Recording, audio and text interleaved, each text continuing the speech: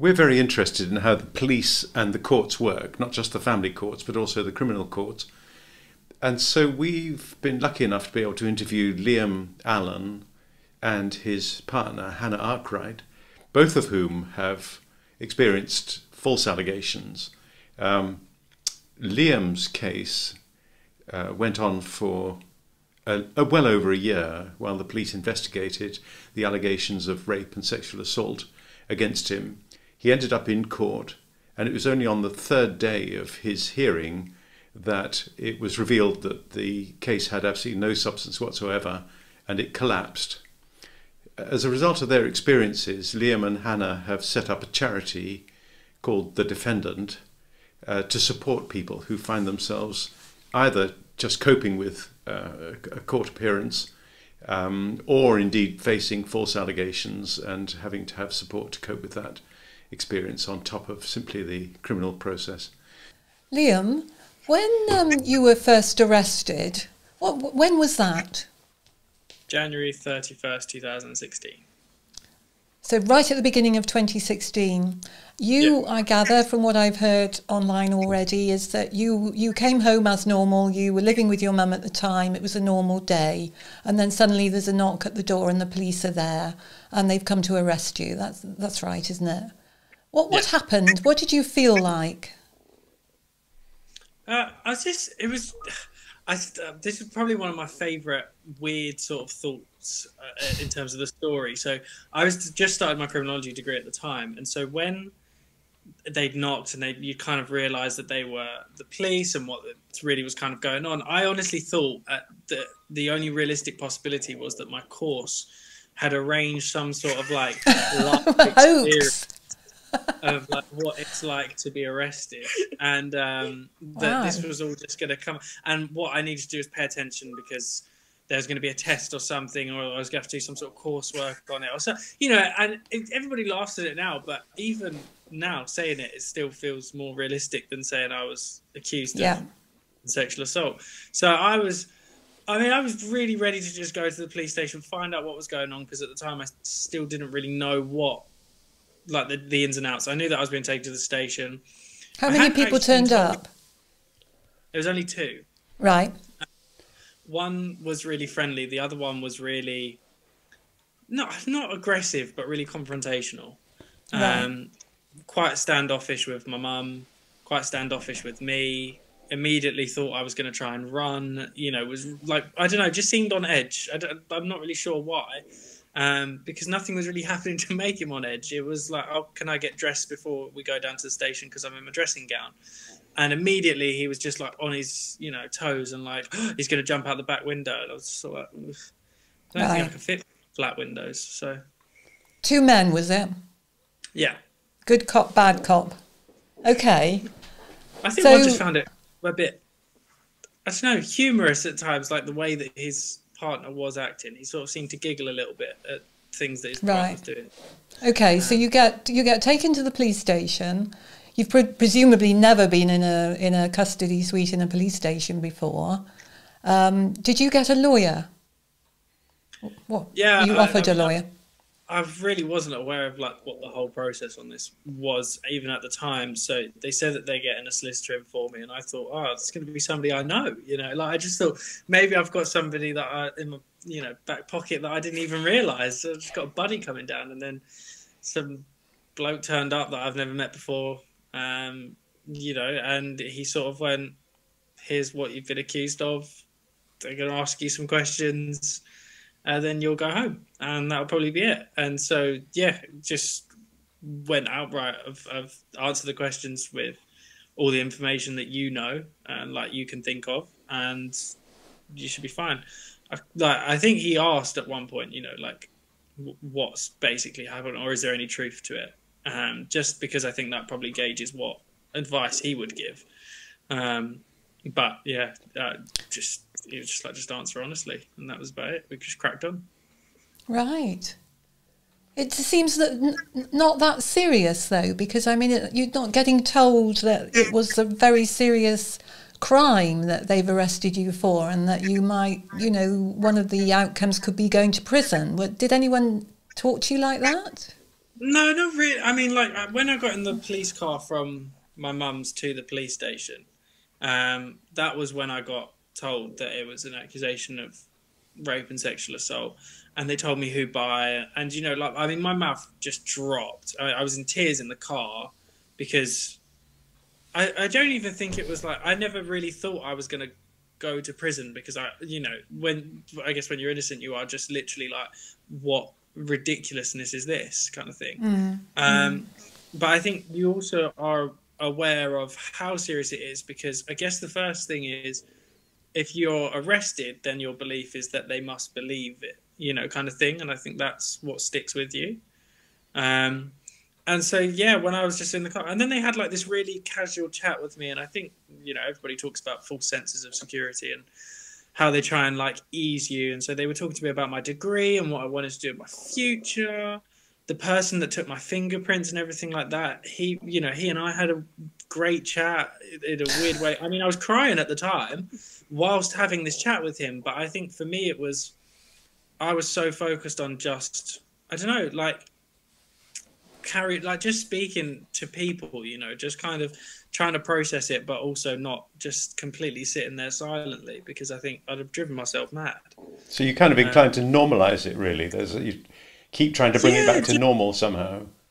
yeah just to like you know i guess maybe part of you thinks that well if they speak to you and they get to know you then they'll understand why you think this is so stupid you know like um I, I'd, you know, I'd, it's not even I'd never been in trouble with the police. I'd just never been in a fight. I just, I just wasn't Yeah. a violent person. There's no temperament. There's nothing there. So, you know, you know that people that know you know that, but these are complete strangers. So they're basing it off of what's been said, and what's been said is the opposite. So, um, But it's, it sounded from what I've heard you say to others, because I've listened to other times you've been talking, and you're also saying it here really, that nobody is giving you the impression that this is going to go very far. Is that right? Yeah, I was told it wasn't going anywhere by police officers, by um, the solicitor, the chief solicitor, my solicitors afterwards. Just everybody really didn't think there was. I mean, there wasn't. I mean, it's not even everybody thought. I mean, everybody knew there was nothing to the case. There was no evidence. There was no nothing. It was word against word at one stage what we thought, Yeah. and then these text messages came out and really just sort of went. Although yes, if we cross-examined things would have come to light because there were contradictions left, right, and centre. But the, the text messages just showed the right timeline of events, what had actually happened. And that was really where the strengths of it lied. But everybody, I mean, the police officer in charge before I was charged said that he put on his recommendation he doesn't think I should be charged, which I found out is a lie. But Oh, because he that's didn't what say he that. said on the phone two hours before I was actually charged. So, um, So do you Yeah. think this was a ploy then, rather than nobody actually thought this was going anywhere? Uh, I think if you're told, and uh, this is more from knowledge now, if you're told that the aim or the target is to increase convictions, you want to do everything possible to prevent people going to absolutely hammer your case. You know, like you don't want somebody proactively doing things that's going to harm the case if you've been told by your seniors get them you know like convict them at all costs. It doesn't you know at this stage it doesn't matter if we hit 10% then we'll look great so just get rid of them. And then all the pressure comes off of us kind of thing. In an obviously more formal more trainee sort of voice but if that's just the ultimate message that's coming through what you know you're you're always going to tell people don't worry i'm on your side i'm doing what you're you, you know you, we don't want you to do because that's the only way you can stop somebody else from doing it i guess Okay.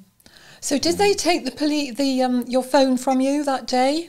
Did they take your yeah phone? th- yeah. they had my phone for a year and three months okay. to, to then tell me that they couldn't get anything off of it and they I- knew this i think about a month into them having it Okay.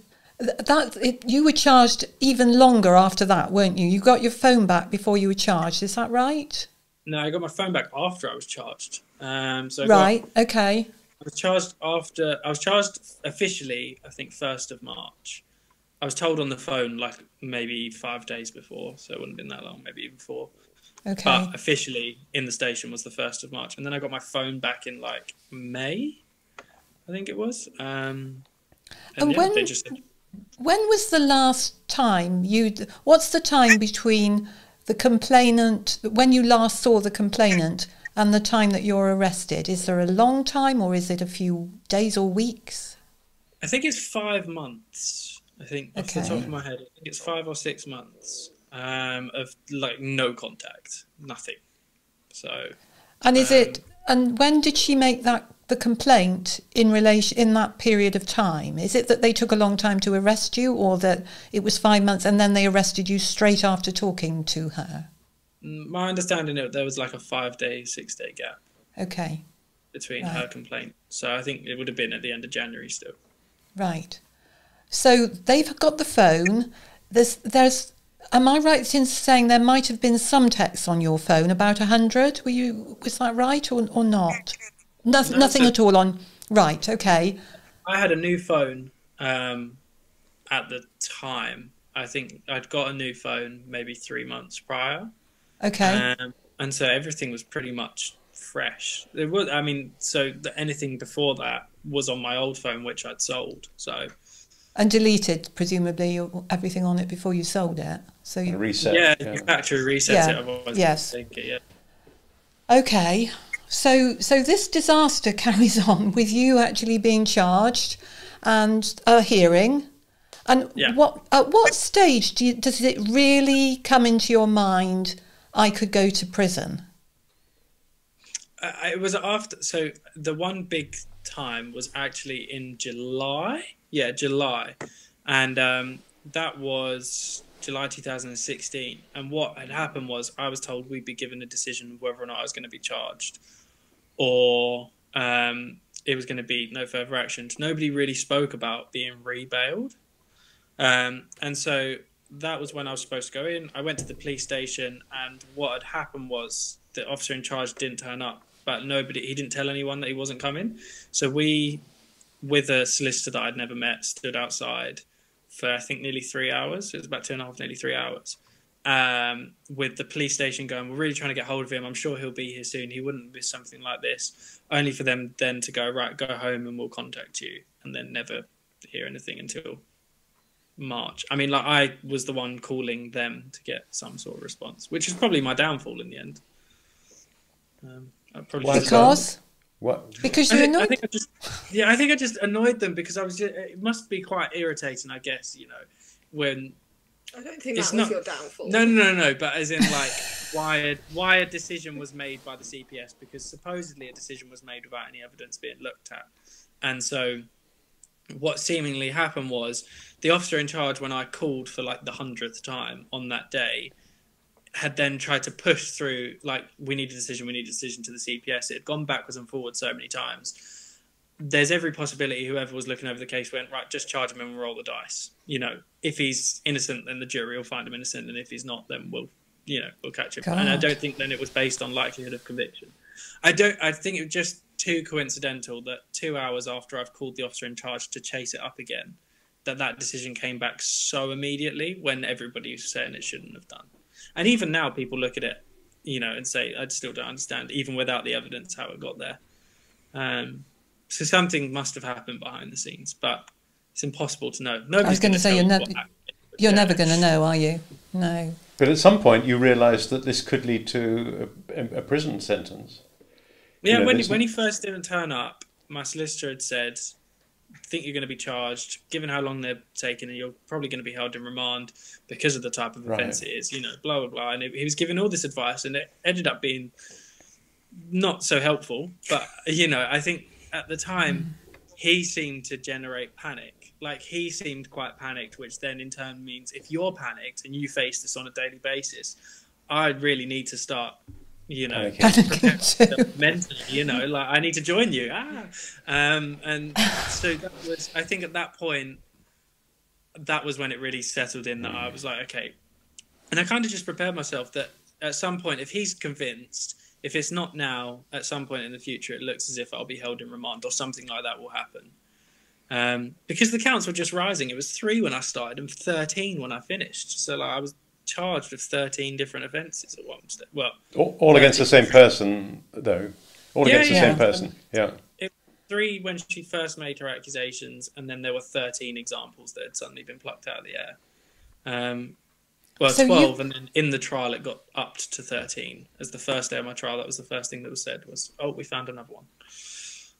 So you go to court thinking presumably that well, what are you thinking? I won't I won't try and guess. First, it was really weird because first day of trial we were made to wait, as most people are, I think, at this stage, because another trial from the week before had run over. And I remember I drove my family absolutely insane because outside the courtroom there's like a little section, probably oh you can't see, maybe like oh no, where's my van? like this big. Um, uh, and I mean I literally paced up and down it for maybe three or four hours while we waited and then they sent us off for lunch because I got there at like eight, I think, with my family, and I just kept walking along. It was one of those square sort of carpet things, you know, where there's like checks in it, and then um, I was walking along the lines of that in the uh, like rectangle, and just continued to do that for like three hours straight because I was just my everybody was asking me, you know, what what are you thinking, what's going on, blah blah blah, and it was just I was driving myself insane because. Well, Just- it's horrible, do- isn't it? Yeah, it's just. I mean, I so my lectures beforehand were on uh, accusations of rape and how the police were now being trained, and um, I'd read a. St- I'd been given a statistic as part of my course that said in trial, fifty percent of people that go to trial are found guilty. It is literally a 50-50 um, at that stage, and that was two weeks before I was supposed to go to trial they showed a video of a mock trial of somebody and like there was all this ambiguity around whether or not it was true and and you know it was word against Yeah. word and you had Yeah. to listen to people in the class going well must have done it why would somebody lie and you think that's how people are going to think in the jury that's that's Yeah. where you that, I mean that's part of what we started to think as a, like me and my family before we went through this was it's harder to comprehend that somebody would lie now about this than it is to think that somebody would do this. Like it's harder to understand. So it started it started as a he said she said trial on day 1. Is that right? That was a, really basically the evidence was what you said and what she said. So what on the first day my barrister had come in and came with their folder and pulled out a string of text messages and said, Look, this these have suddenly been added into the disclosure pack as of I think a week ago, maybe a week and a half before the trial. Um, everybody was confused. They were all a bit of uproar. My solicitors were in uproar because we'd been asking for six months over and over again, and we continually asked for the whole time, "What messages have you got? What text message? Why would you keep the phone for so long?" Blah blah blah. Um, and these were text messages taken from her phone, which was something that nobody, there was no record of them downloading stuff from her phone. So it led into my barrister go uh, inquiring a little bit more about what where these had come from, you know, what else they had. And even in these messages, one of the lines I think that's been used all in the media was it wasn't against my will or anything. And this was the first conversation she was having with a friend about it. And it was where things started to snowball. So it did start as a little white lie for I don't know what reasons. I mean, seemingly it seems attention based because of what the conversation was on, which I can't obviously go into detail about. No. But then it started as like a whole, you know, I, Liam wasn't like X, Y, and Z. He was a bit more like blah blah blah. Um, and then it just snowballed into once you started with that, her friend sort of then went, "That's not okay. That's this. That's that," and started putting things like labels and stigma onto it. To which point she tried to back out in that conversation, and because her friend was so headstrong in it about what she kind of read into it uh, as what things were, um, then she then went wild with it. It was at that stage where you know one small thing then became this whole story that just seemingly was being built up from all sorts of things. I mean, there were jokes that her friends were making, but like to her privately, that were then used as accusations later on. And so you could see where once you saw the text messages, you saw where the story was coming from. Yeah. But until you saw that, nobody could un- really understand how that was happening. Um, So, did Yeah. more texts come out beyond day one? Because it, my understanding is on day three, your barrister decides to um, go through them and spent nearly the whole night going through some texts. Is that six, 60,000 pieces yeah, of. so we yeah. we got on the first day there was no jury there was no nothing and we asked about um, the text messages. I think it was kind of half dismissed because there was no jury there was no nothing you know so i think they just wanted to sign the day off and go moved it on to the next day. Um, but what they did do was go through like the really minor admin bits in the very beginning.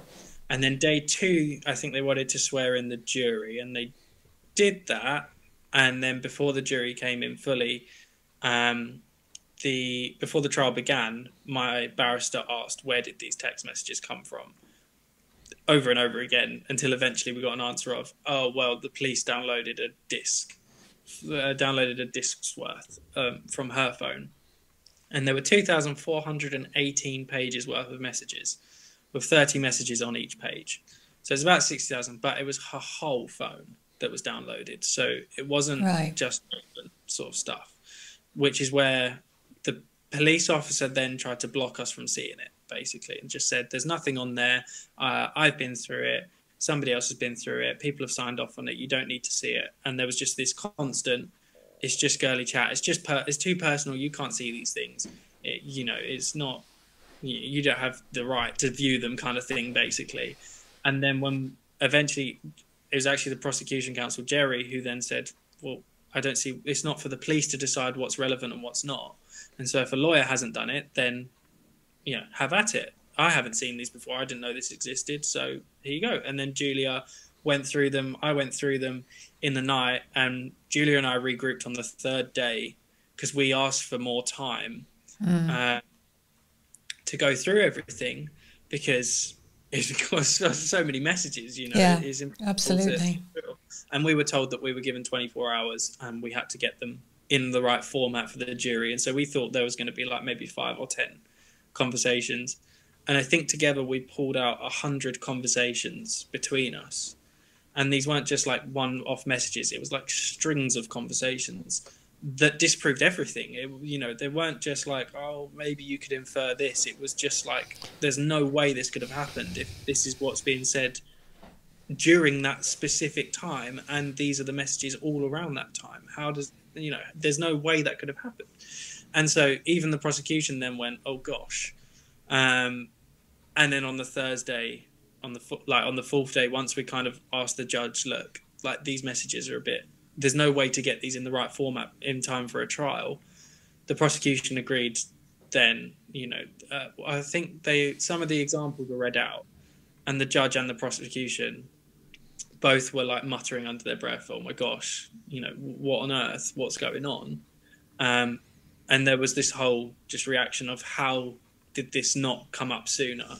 And the judge sent the prosecution away, asked them to write a letter apologizing to the judge for wasting his time, and um, said you need to decide whether or not you really think you're going to go ahead with this, basically. And so they were given two weeks from what I'm, I know, they wrote a letter straight off to the CPS to say, let's drop this. This doesn't need to go further. Um, it should never have got this far, basically. And then they did a handwritten, well, typed out an apology to the judge and, and gave it to the judge two weeks later. It sounds as though it sounds as though you were kind of lucky with the prosecution The prosecution Barrister. barrister, was really good, I thought, from because what if, I heard if of the- him. If you didn't have that intervention, do you think you'd have got hold of the texts? No, I think it's a lot harder to have faced that. You know, I mean, they could have said anything. The pro- the thing is with Jerry, who was the prosecution counsel, he came onto the case the day before. Like he was given the case on Sunday because the other the mm. prosecution barrister had a trial that ran over, mm. and so it was pure luck because apparently that prosecution barrister had also signed off to say I shouldn't see those, oh, and had also gone through those, which raised red flags. Then that's you know basically where we sort of were at. So if we didn't have Jerry, if we didn't have the judge, I mean the judge could have easily just gone no, get on with the trial. And the worst bit would have been was that would never have been counted as new evidence because technically we had it, and if we couldn't get it together in time, then that's our problem. So I just wonder. I, I wonder, Liam, if any of those people, any of the police officers, the original prosecutor, actually read all of that or just assumed there was nothing there. Somebody had to read it because they pulled out messages that they thought they were going to be able to use to prosecute me with. Right. Really? Somebody go through it. Right. That's where 100 messages came from in in the beginning. That that was prosecution evidence. It wasn't just like a random Ah. um, oh, here's a hundred messages that we found. By the way, it was, oh, by the way, this is evidence that we're going to use, and that was why there was an inquiry as to where where did that come from. You know, So then- They had to have known there was other stuff there that might might be against their case, as it were. But you know that you should really have. yeah, they they uh, in the review that they did afterwards, it said that the officer in charge, you know, promises that he went through those messages, but he just can't recall how he recorded all the information, and so either. In my opinion, they must have cherry picked. It doesn't make sense not to. No. Cherry picked if you, You can't, not with that amount of information. You can't cherry pick. Yeah, exactly. You've If got to you find it. to find the, what you were hoping to use as your own evidence, You must have read other stuff. you must have read other stuff, or Yeah. you were intentionally ignoring the other bits. You know, if Yeah. if they'd have told me that that existed, I could have told them to go through that. I could have given. There were text messages between myself and her that it was just my name that had been deleted, so I wasn't a contact, but my number was there. I could have told. I mean, we searched it through using Control F. Like it wasn't like a technology. We didn't hire a guru or anything like that. We didn't do anything jazzy. We got a PDF document and held down Control F and typed in 20 search terms. If we'd have had that for the two years, we could have pulled all sorts out of it. I mean, the case would have been blown to absolute pieces. It was just that we had 24 hours, so we did everything that we could that still blew it to pieces. But I'm so sure there's more in that. Absolutely sure there's going to be more in that evidence, but I just there's no need to go through it again. You know. And I wonder why, you know, if if at the beginning there was a sense that they were telling you they didn't think this was going to get anywhere. So did the people at the beginning actually have a sense of this not being a sensible case to proceed with? You know, I, I, I just, I suppose the question is We're at what just level is this decision being made? yeah. You know, is it the people on the front line or is it somebody else Well, it's the CPS. deciding but- that they should just get a conviction? Mm. I think it's the differentiation between a personal decision and a professional decision. In your personal decision, in their personal opinion, it shouldn't have gone ahead. They they wouldn't have wanted to pursue it. But professionally speaking, they've been told to pursue everything, convict, find guilt, blah blah blah, whatever, and increase conviction rates. That's what they're targeted to do. So professionally speaking. I guess the, the big cultural question is how are police officers' performance reviewed? Yeah, yeah. You know, and I guarantee it's not on how many people they find innocent. No, of course not. Of course not. No. No. It's just as simple as that. And then if that's the case, everybody who wants any form of career progression will just push people through. That's it. You'll cut So- corners, evidence, you'll do whatever. It doesn't matter. So if you saw somebody in similar circumstances today, happening to you today, happening to them today, what would you say to them? What would you say about that first trip to the police station? The first, to be honest, the first trip is always. I, I hate the. I mean, solicitors advise no comment, and they're in the best legal position to advise those types of things. But personally, I just think it's better to just get. Yeah, it, it like there's no reason really why you shouldn't be able to answer the questions that are in front of you. Um, If you're but but yeah, if you're innocent. Um, Nice intervention there, Hannah. um, but really, I mean, it's answer the question that's in front of you, you know, and it's about having confidence in the truth. But as soon as you know what is going on, or even you've got like a little inclination, start doing your own groundwork of building up or storing evidence that you've got yourself yeah, and make copies of everything because what you don't want to do is be like oh i handed this over and then the police go i don't have any record of you giving us over the evidence that Yeah. proved you were innocent we, have, we Absolutely. don't know that's gone you know and great people- advice. people laugh and they say like oh well that doesn't happen the police aren't going to do that but there was no record of this phone download anywhere. Like it just didn't exist. It was hidden. Mm. Um, so And I Yeah. think from what you've said, another another suggestion I would have, which is don't take when when people say there's nothing to worry about, worry.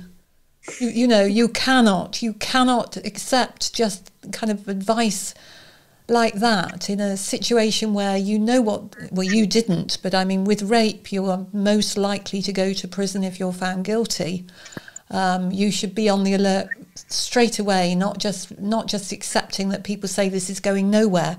Because if it's actually going nowhere, why did they even arrest you? Why did they waste all that time getting you in the police station if nobody thought it was going to go anywhere?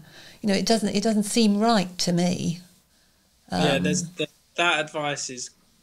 I mean, I think when people say not to worry, I think it's more don't, you know, generate unnecessary panic or like inside yourself. I think it's very a lot of the anxiety is caused by wanting to do something and not being able to do anything. And you seem, I think a lot of people. I mean, we speak to a lot of people, you know, going through it currently, and every single one of them, whether it's a family member or the actual person accused or whatever, all will say, "Well, what should I be doing? Should I be doing this? Should I be doing that?" And what they're actually, what they should be doing is just living their normal life at this stage because a lot of them are like, right, we've got all the evidence, we've got it stored in a box, you know, it's ready to be used, but you don't really use your evidence until trial. I think is what the experience has become, or unless you pay for a really, really good solicitor from day one, who will then use it on your behalf and do something with it, probably. But just handing it over to the police doesn't doesn't No. work. no, it doesn't. No, that's true. But you could say that no comment is doing something as well. I mean, it's like a position. You take a position, may may may make you look guilty, I suppose, but at least you know it's not it's not it's not that you're not doing anything. If you if you want to, you know, you it may feel better to kind of normalize the situation by answering the questions. But I could see there's another argument which says, why help them Make at all? Make them work for it. Make you know have a deliberate plan to not do anything until Mm. you have to. Yeah, exactly. It's, I, the, the thing is, is like I think that's just a where I'm probably not a legal professional. Like you know, it, it, there there is a Oh, sense I of think you're. I'm not not criticizing. I mean, I've you know done exactly the same yeah, thing. I think that's the thing. We're just it's probably naivety, you know, where you're like, oh, just tell them everything. It's fine. Yeah, And what yeah. actually happens is they'll pick one sentence out of context and go, that's what we're Yeah. going to focus on. Yeah. And even when it's been disproven, they'll be like, but you said this at that time, and then it'll get to trial, and then everybody will just sort of be like, well, this is a Yeah. waste of everyone's time. Why did you do this? yeah. Um, did you give uh, a DNA sample? No, it was. I mean, it was such a long. Like, it was over a, a two-year time span, and then I was accused five months later. Doing any DNA sample to them made absolutely no sense. I think they No. might have taken like a swab in my mouth, and that was pretty much like it wasn't like a, an invasive one. No, no, that's what I mean. though. Yeah, yeah, they, they did do the- that. Yeah, it was just the swab, but it, I, you know, other people go through all sorts of other tests, you know, Yeah, uh, that yeah. are a bit more invasive. So Yeah. Yeah. Yeah.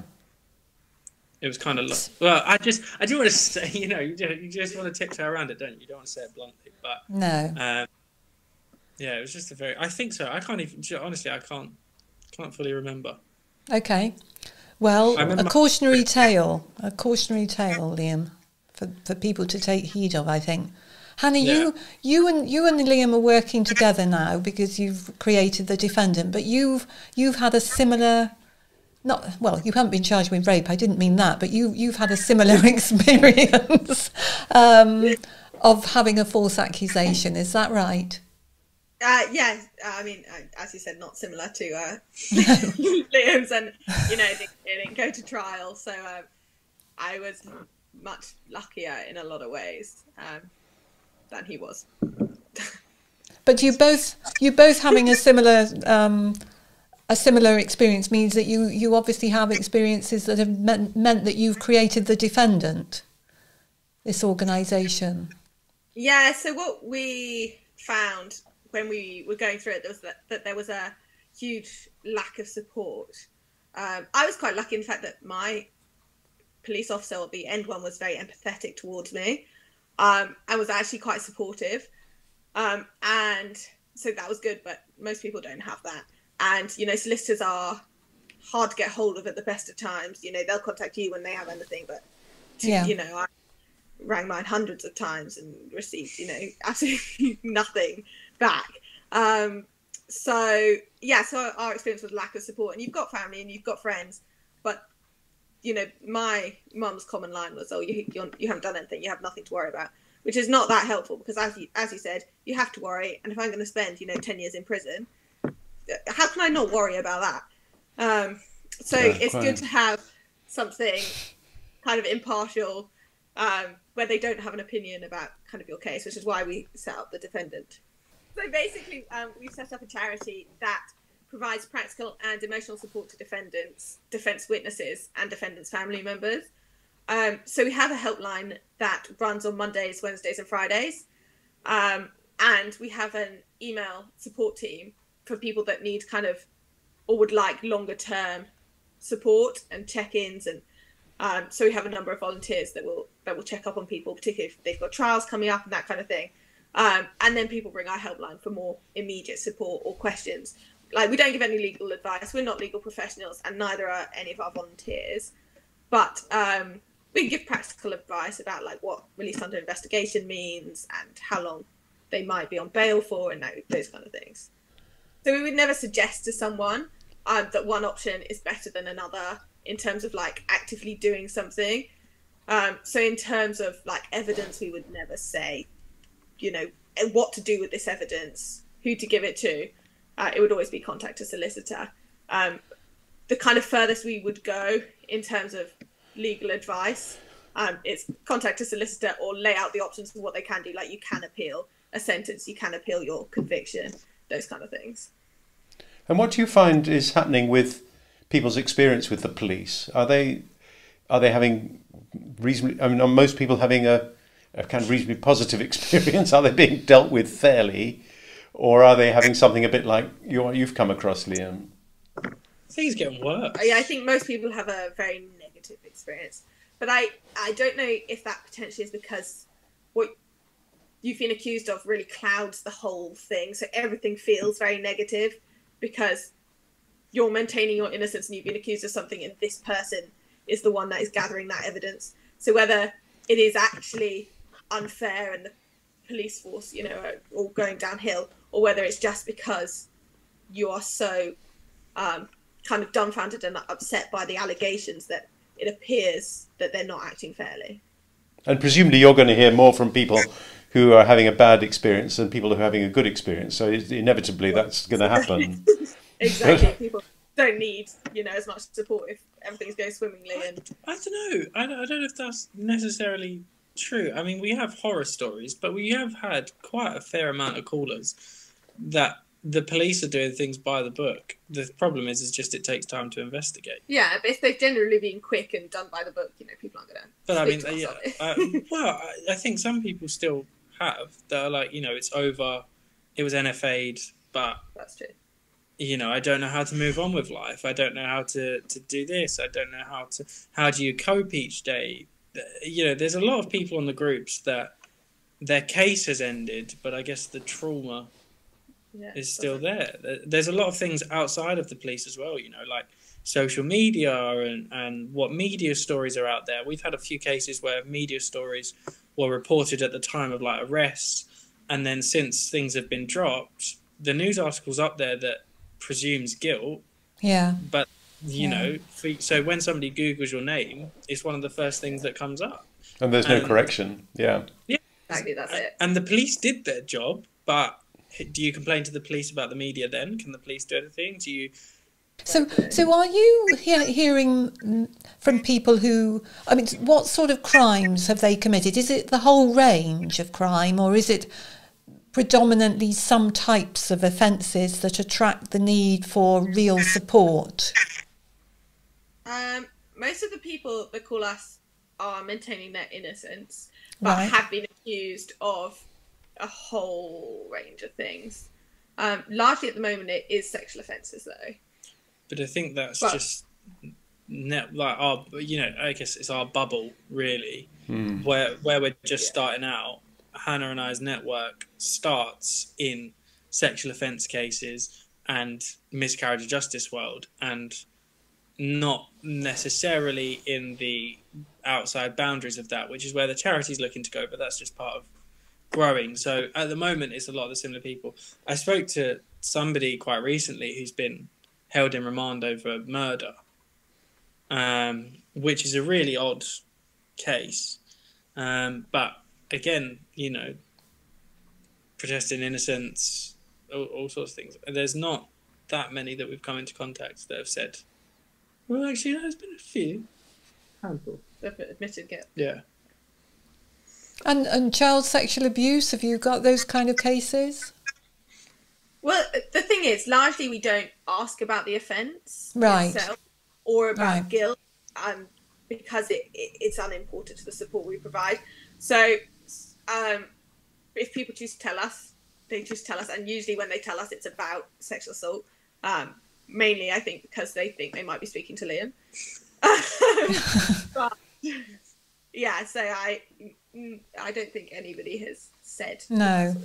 I was mentioning that particularly though because we're hearing from people who were involved in the family court that one of the things that is one of the things that are, people are falsely accused of in divorce and separation cases is the abuse of children. Um, y- you know, so so there we believe there are a lot of those kind of accusations going about. I don't know how much the police get involved in those, but it would be interesting to see if you're hearing a lot about that as well, just because we are hearing so much about Or, it. or too. domestic abuse without a sexual element Yeah, to it. yeah. That seems to be fashionable thing to allege, whether We get- true or not. Yeah. We get a lot of people, yeah, to be fair, that do mention that it's arisen from uh, custody issues, yeah, or Yeah. something, or, or fallouts, or Well, children's contact, children's Yeah, custody, yeah. children's residence. Yeah. Yeah. Mm. Yeah. um, Well, that that doesn't surprise us. it's a different ball game, though. I think that's the thing at the moment because we're criminal law. Not all of them necessarily become criminal law because it's No, that's true. in the case. So, um, I think for us, it's all about broadening that expertise, and which you know, I think having now spoken about it uh, probably in more depth is probably something that's on our agenda anyway. But something to really look at. It's also, you know, we get people from Scotland calling, and Scottish law isn't our forte, but we try and do what we can. Um, and Northern Ireland, I think that's a mess. Yeah. Um, so, so is, is it doing well? Is your new is your new business doing well? Your new charity? It would, it would depend how, how you would define that. I think there's an obvious need for it, um, and it's being well used by the people um, that we kind of in in our miscarriage of bu- justice bubble and uh, sexual assault, sexual offences, um, but it is hasn't yet um, kind of evolved into the all-encompassing um, charity that we would like it to be. Um, you know, we would like every it to be available and known to people accused of anything, um, which at the moment is not. But we're working on it. I think yeah, it's just it takes. No, just that it takes time. It's done really It's well. early days, isn't it? Really? Yeah, Yeah, exactly. It's done Yeah. really well for the expectations that we had Good. in the early days. You know, we were expecting to just sort of have no contact, and at the moment we've got fairly large volunteer team um, that have things to do. You know, there's always volunteer opportunities at the moment in terms of helping it grow, but also everybody has had contact with at least maybe three people. I'd say. I, I don't know. No, but like as in just if we're going for like ballparks, Sure. I'd probably say everyone that is working with contacting people has spoken to at least three or more. Some people have spoken to a fair amount more, but Mm. um, again, I- it's just it's I- being I- right. Yes, yeah. I have no doubt it's it, it's much needed. Uh, I I can't imagine what people do um, in the circumstances that they find themselves in if they can't afford lawyers or the lawyers aren't very available even though they've got one. Um, because you really want to hear advice now, don't you? Or at least get some support now rather than in a fortnight's time when you might get to an appointment or get to speak to somebody. So, And family and friends can't really do it because they're, oh, well, family certainly is part of the problem. They're as upset as, well, they may not be as upset as you are, but they're certainly upset for you Yeah. And so uh, getting getting some kind of uh, reassurance or support is Yeah. very hard. You lean on your close family who are already under pressure. So So it's called The Defendant. What, what, there's a website, is that right? Yeah, thedefendant.org.uk. Right. good. It's easy. Um, That's fine. A helpline, and there's an email support team if people don't necessarily want to call over the phone, or um, yeah, or don't just prefer generally email. Some people prefer doing an initial email and then call the helpline. Excellent. Excellent. Yeah. Well, good luck. I, I hope it works well, and maybe in a while you'll come and tell us how it's get how you're getting on with it and how much bigger it's grown. That would be good to hear. We will definitely. Okay. Thank you for talking to us. Thank you very much. Thank you for having us. Thank you.